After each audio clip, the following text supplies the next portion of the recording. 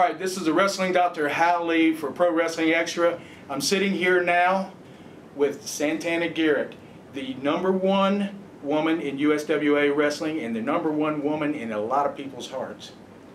So Santana, Yes. thank you for sitting down with us. Thank you for having me. Well, it's my pleasure. Trust me.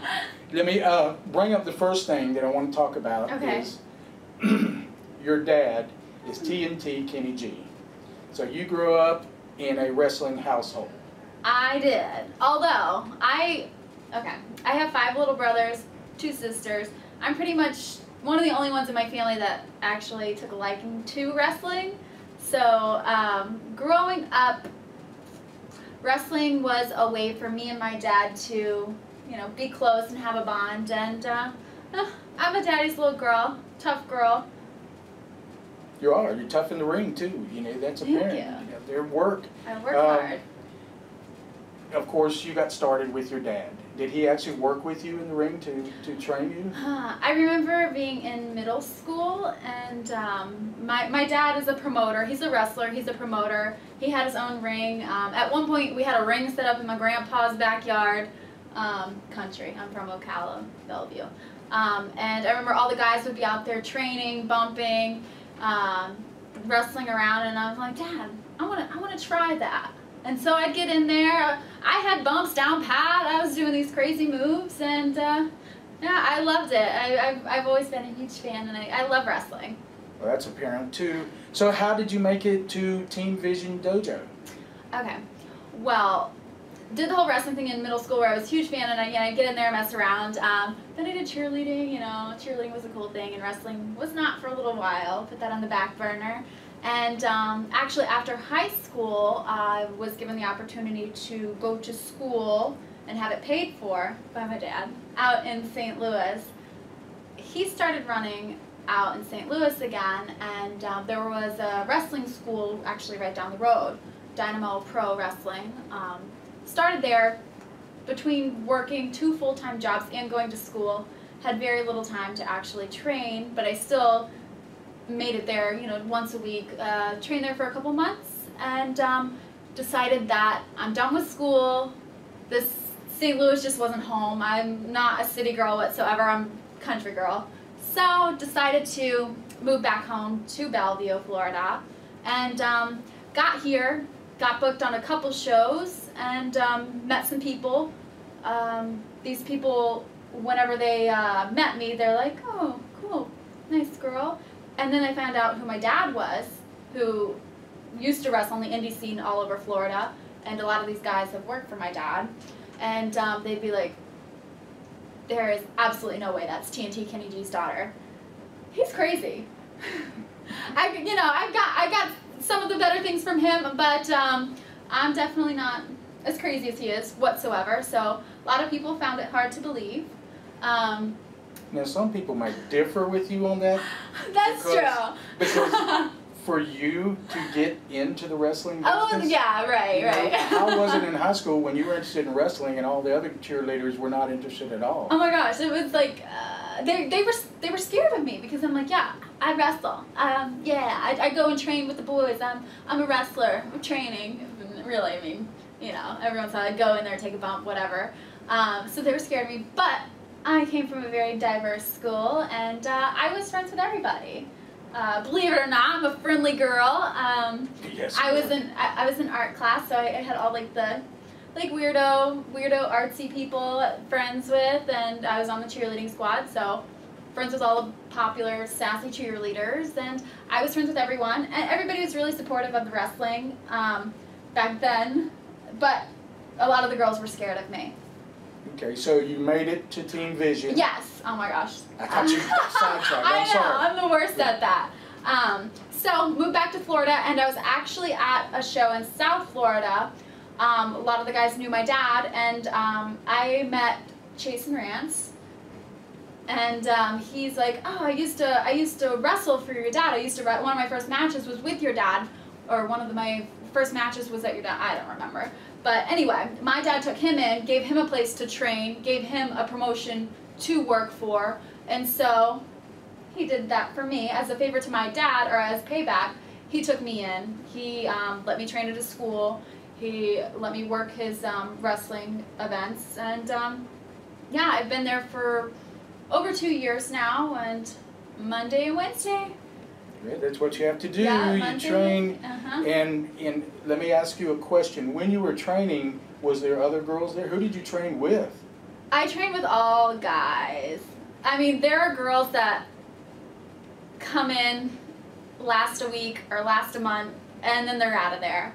It's not for everybody, and this this this is not an easy this is not an easy sport. It it hurts, especially in the beginning. Your your body is not used to taking that abuse. Um, so I mean, girls have come in, girls have come out. Um, mostly guys. I, I train with mostly guys. Um, every once in a while, some of the girls will come down. Um, Christina Von Eerie, uh, worked with her for a little bit.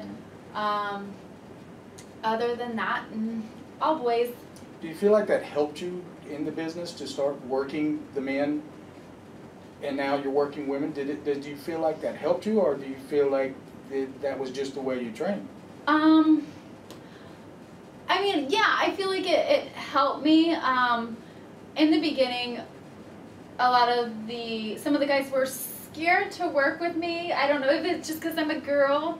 Um, I don't know, but a lot of the other students were were scared to train with me, and they they wouldn't treat me like a a wrestler. They were just treating me like a girl. And then on the other hand, there were there were there were guys that were like, I don't care. You're you're here to train. You're a wrestler.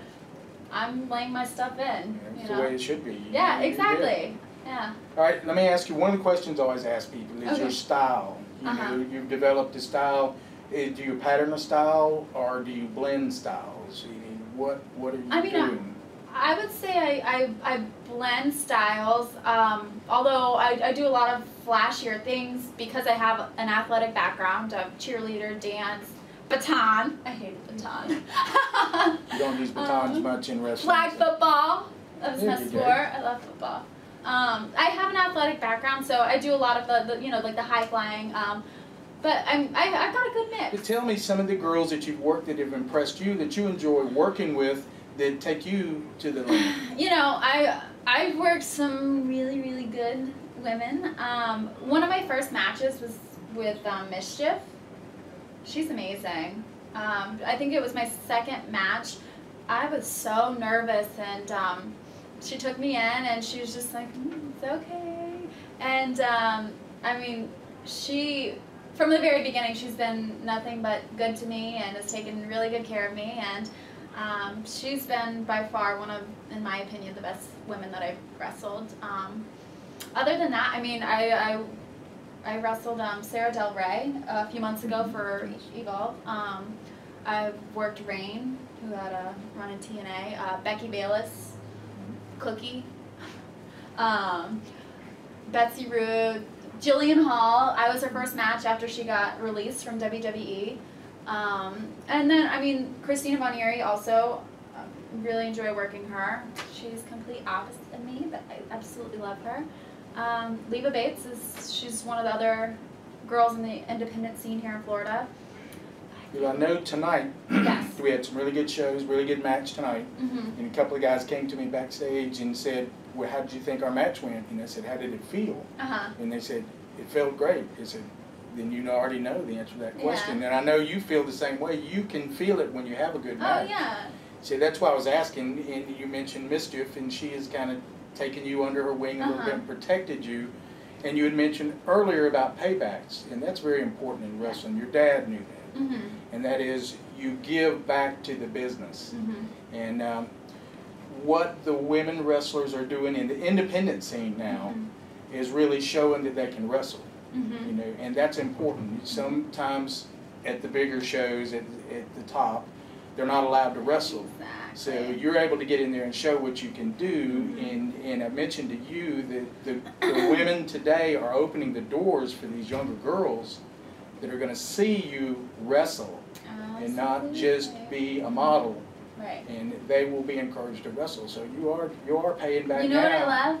When when I come out and you know in front of a crowd that I've never worked in front of before, and they're like, "Oh wow, she's pretty," and then I get in there and then I can put on a good match and can really hit hard, take punches, and show people that I'm I'm a tough girl. I'm a tough cookie, and uh, that's one of the most rewarding things. It is. about, Those about little this. girls tonight, I was standing out there watching, Uh-huh. and they're watching, they're seeing all the guys work, and then you come out and they realize, I got a chance to do that. Uh-huh. Not just my brother, but me. So Yeah. you know, you know, thank you for doing this for the business. It means I have something. goosebumps. I do too. You know, Uh, let me ask you. Let me.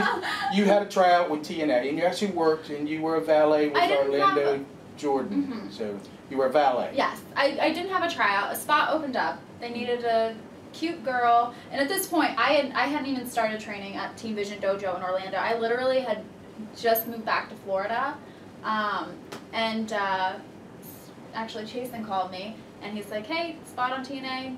You wanna you wanna do it?" And I'm like, uh, yeah, yeah. hello. And uh, so yeah, I I get there, and it's like, okay, you are Orlando Jordan's girlfriend. Oh, okay. And he is bisexual. oh, okay, cool. And um, so that was definitely a huge opportunity for me, especially being so new to the business. Um, yeah, I've been around it forever, but I had just recently You started got your face out there. time. and That's Exactly. Some negative, you know, feedback, but your face was out there. Exactly. That's what counts. All right, let me ask you Uh-huh. something. I, I'm gonna throw a little, a little twist into Oh, gosh. everything. Um, we're gonna talk about your weakness, you know, okay. and I know all about your weakness. Brownies. Brownies. I love brownies. Oh my gosh. I could eat them every day. Brownies and pizza. Um, but being in this business, they for some reason they want you to be in shape. I don't know. We wear little spandex outfits and uh, they don't want muffin tops, I guess. So how Do you know what a muffin top is? Yes. Okay. I think most I'm people, growing one right now myself. Most people don't know what a muffin top is. Tell me how to explain it. how much do you eat brownies? How many? Once a week? Mm, Once a week. I honestly. That's the question everybody's gonna Yeah, once a week, whenever. I mean, if, if they're there, if they're available, I'll, I'll eat. I could eat them every day. I love brownies. Okay. Uh, favorite wrestler? Okay, growing up, Stone Cold Steve Austin. I remember being at my dad. My parents divorced when I was at, when I was four, so real young. No big deal. Um, my my I would go to my dad's and he'd let me wear my Stone Cold Steve Austin shirts and my jeans to school, and then I'd go home to my mom and she'd be like, "What are you wearing?" Tana, no. What are you wearing? And she's she dressed me in these floofy dresses with these poopy sleeves. So I'm I'm a I was um, a unique child because I was just like um, probably the best the best of both worlds because I'm this wrestling, I love football, and I'm this tomboy, love sports. I was the fastest runner in my in my whole school in elementary. and then at the same time I love fashion. I love dressing up, I love being pretty. So you And- pulled in two directions. Yes. And whoever had the much so. strings that Yeah. won that. You mentioned to me Yes. when we talked earlier that you had a mentor in the business. I want you to be sure and mention who that was. Oh, yeah. One of my mentors is Scott Hall, and then I also have Larry Zbyszko, who are both wonderful, wonderful people. Ton of, just full of knowledge and um, amazing people. They are. It's, yeah. And, and surprisingly enough, I know that there has been some bad publicity out with Scott Hall, but uh, that's not true when I talk to people that are actually around him Mhm. now. And I'm, I'm so happy to hear people say that Mhm. because that the truth needs to get out about Mhm. that. too. I appreciate you saying that. It's important to get out. Um, Good days and bad days, but he's doing he's doing that. really well right that's now. really, really good. Very, we're very happy for him. All right, let's. Uh, is there anything that you've regretted about being in the wrestling business at all? Do you you like fashion and stuff? Has has has this completely taken over your life as a wrestler? Um, no, not completely, but sometimes it's like, um, like on the weekend. Like I love, like I feel like this this wrestling is life. I feel like uh, my life pretty much revolves around wrestling. But at the same time, I still, you know, I still have my friends. I still, I still do things outside of wrestling. Probably not as much as I should because wrestling keeps me freaking busy as heck. Um, but no, no, no regrets. I mean, I was, I was pretty much raised in this business, and um, I've done everything the right way. I've, I've earned every belt that I have, and um, I, I feel like I have a good head on my shoulders, and uh, That's good. You Yeah. completely sound grounded to me. And it's been a pleasure talking to you. I appreciate you sitting down with us. And we need to do this again sometime. ProWrestlingExtra.com. Dot com. Dot com. And next time we'll do it with Jason so he doesn't have to bust in here all But you know time. what? He's so sassy. He like tries to steal my thunder. Well, get your get your I know. I'm like, mm, my I turn. want my no, spotlight. he talks a lot though. All right, this is the wrestling doctor Hal Lee from Pro Wrestling Extra. Thank you.